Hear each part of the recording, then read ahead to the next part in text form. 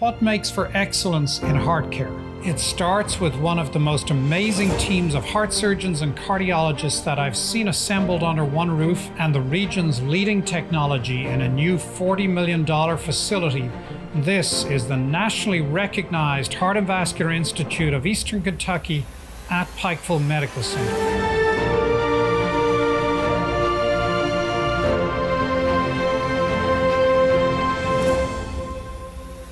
On Monday, March 13th, the Pikeville City Commission awarded over $40,000 to Palmer Engineering to insert a new access road from Hambley Boulevard across Hibbard Street.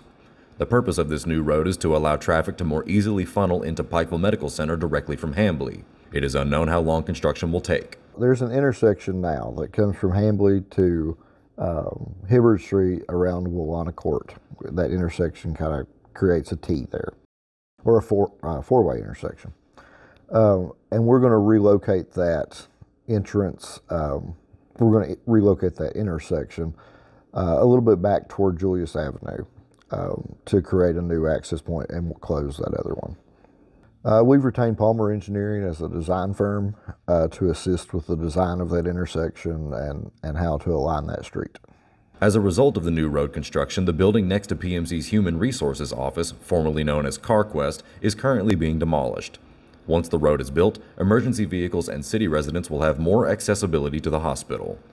There is PMC's HR office, and then there's like an alley that goes through there or a parking area, and then there's the CarQuest building.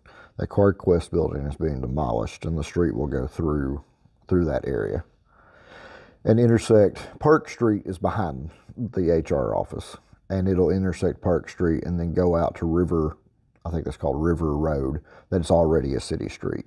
So we're really just connecting Hambley Boulevard to another city street. That will provide direct access to PMC from Hambley Boulevard, and we believe that it will take uh, some pressure off the intersection of Hambley and Bayard Avenue, as well as Bayard Avenue and the bypass on the other end of Bayard Avenue. Uh, those intersections are both very busy. There's a lot of pedestrian traffic that goes through the intersection with Bayard and, and the bypass. Uh, so we're trying to alleviate some pressure from those two intersections uh, and provide another route of entrance to Pikeville Medical Center. Reporting for Mountaintop News, I'm Nick Collum.